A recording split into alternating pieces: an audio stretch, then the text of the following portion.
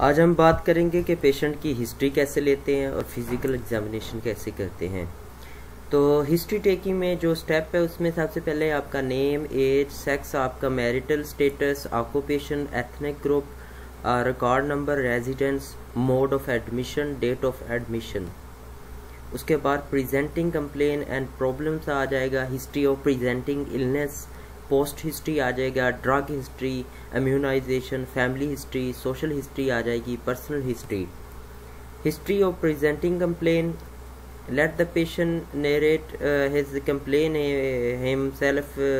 in his over world complaint should be noted in the chronological order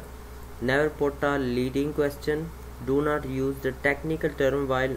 noting complaint Point to be noted for each complaint, duration of complaint, mood on set, continue of complaint,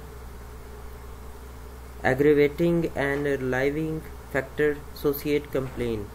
Physical examination always approach the patient from the right side of bed.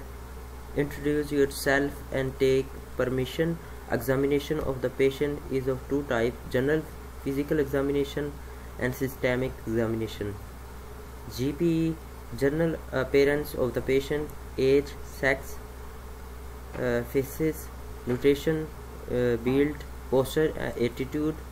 anemia, cyanosis, and jaundice, edema, clubbing, koilonychia,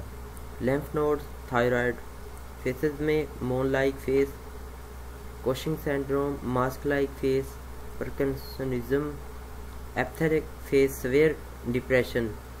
vital sign में pulse PB temperature respiration और local examination of the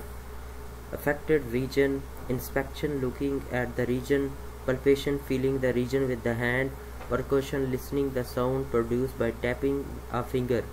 auscultation listening the sound produced within the body with the help of a stethoscope